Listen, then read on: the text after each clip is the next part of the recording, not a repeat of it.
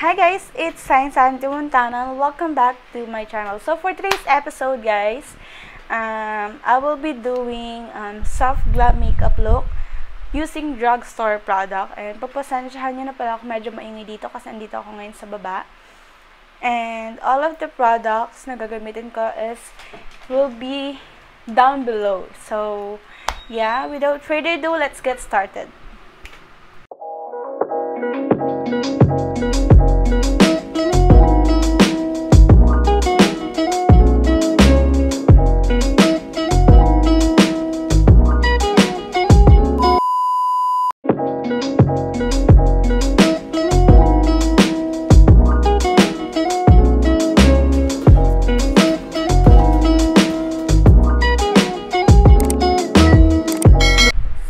Guys, nag-prep na rin para ako ng skin. So ayun yung pinaka-base natin. And for foundation, I will be using this BLK na foundation, All Day Matte Liquid Foundation in the shade Porcelain. So, hindi ko na siya dito. Konti lang, mga isang pump lang na ganun kasi um, ayoko na medyo makapaw. So, After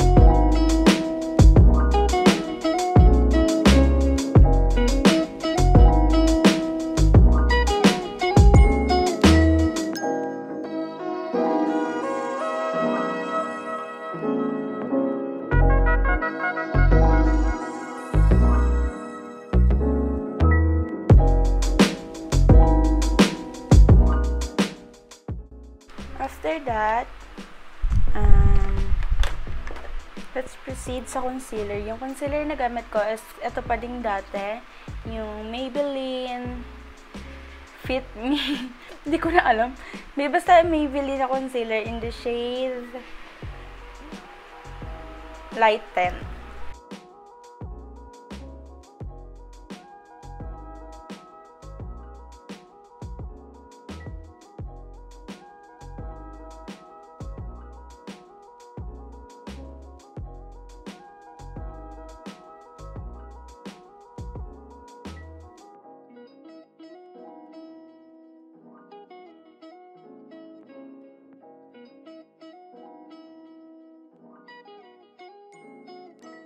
For um, contour, I will be using this BLK na liquid contour stick.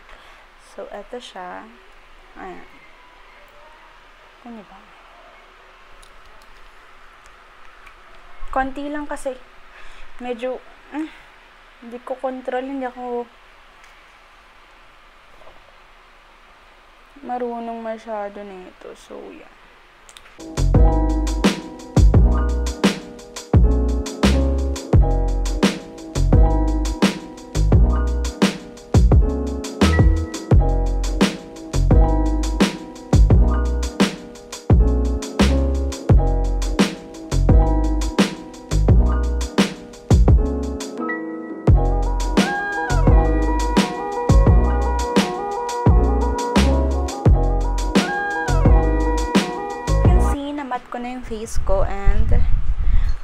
um, proceed na ako dito sa eyes area. So, what do I do?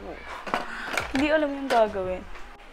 So, for today's eyeshadow, guys, I will be using um, this um, palette from Caroline. Itong Play to Slay nila. So, um, yeah.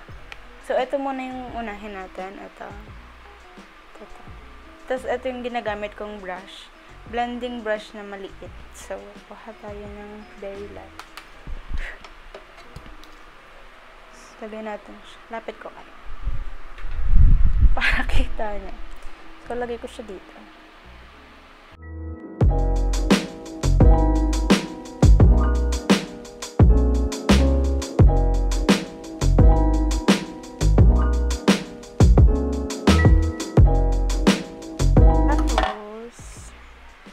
next is new shade naman. Um, gamitin ko tong lightest. Ito.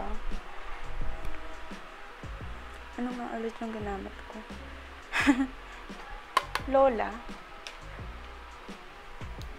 So, lagay ko lang siya here.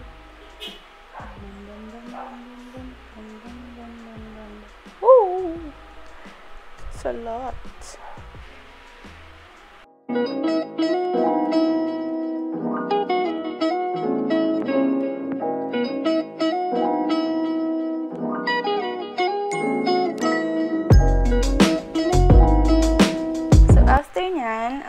next step natin is kuhaan tong susunod na brown to. So, kuhaan natin siya. Kita nyo yun?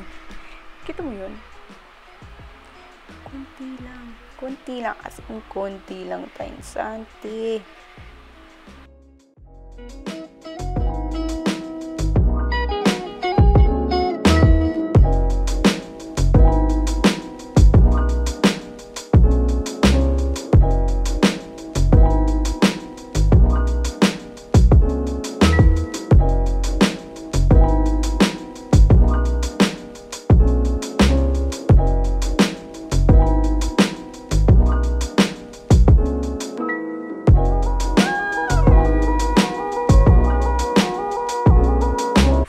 Next step is maglalagay tayo dito sa unahan nitong highlighter nila. So gamit ko tong flat brush.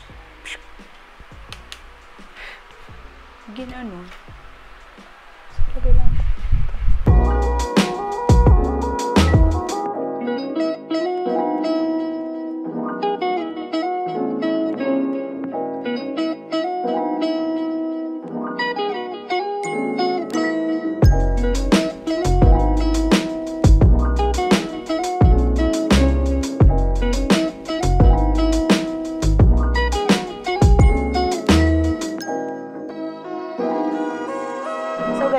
All for eyeshadow and um, magkakirl lang ako ng lashes ko. So guys, hindi ako maglalagay ng falsies ngayon kasi soft glam lang naman siya. Hindi nyo kailangan magpaka ano-ano sa eyes. So, we'll just curl in. Tapos, ah, na mascara. Sakit! Shit. Naipit ako, men. So, curl ko ng 1, 2, 3, 4, 5, 6, 7, 8, 9, 10, 1, 2, 3, 4, 5, 6, 7, 8, 9, 10. Yeah, that's good. You see? You see? So, curl pa natin ang Ah.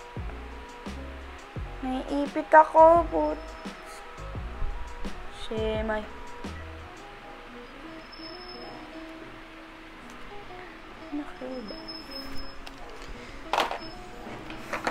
So, yeah, that's it.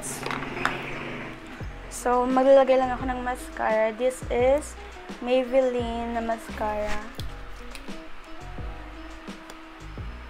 I highly recommend this mascara, guys, kasi sobrang um, tagal talaga niya mawala. Waterproof to.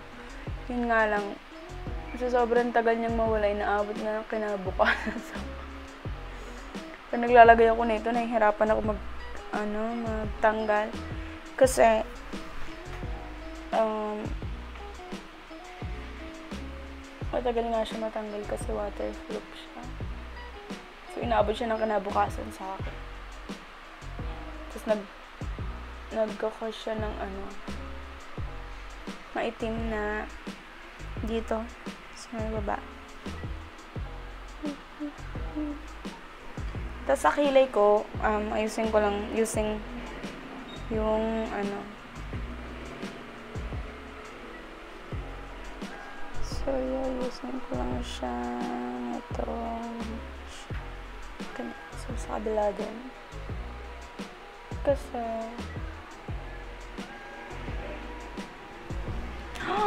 buhok! Ang buhok tayo ng buhok.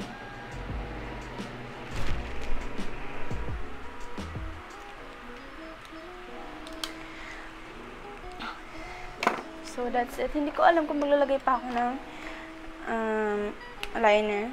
So, malagay pa ba ako ng liner? Or wag na. Baka maruin ko lang itong look. So, hmm, medyo kabado ko. So, mamaya na natin pag-decide yung eyeliner. Kasi hindi ko gamay yung eyeliner. So, ngayon, uh, mag-contour ulit tayo. Pero powdered naman siya. Um, na itong contour brush. Um, Alam nyo, ginagawa ko. Itong tatlo, ang ginaganyan ko lang siya. As in, tas, I don't know. Pero kasi, ganun lang ginagawa.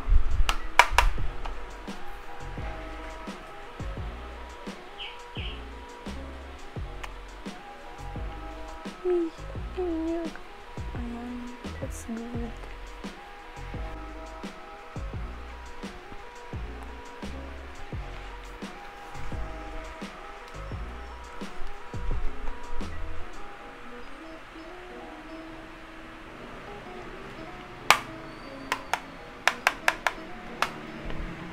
Dito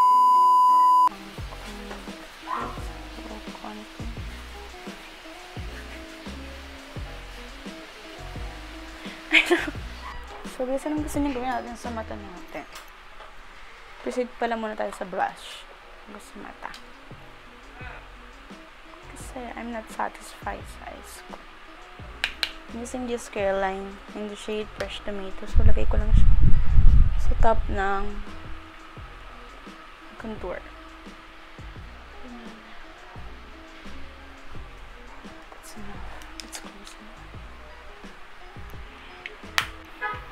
Ito yung closer look. Ano yung gawin natin sa mata natin? Ah, kasi I'm not satisfied sa mata. Feeling ko, kailangan ko siya lagyan ng eyeliner. Pero, gagawin ko pa ba? Gawin pa natin. So, pag naglagay tayo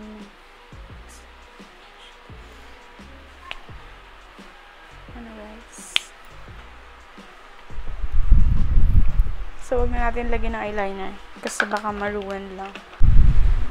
So, guys, for my lips, I will be using two products. Itong Colorette in the shade Olive, tsaka itong Sunny's Face in the shade Nudist. Ito try ko mag-outline ng lips ko. First time. Try natin kung maganda. Feeling ko maganda ang kakalabasan nito. So, natin siya. And then we'll, we'll just to close that. So, oh my gosh.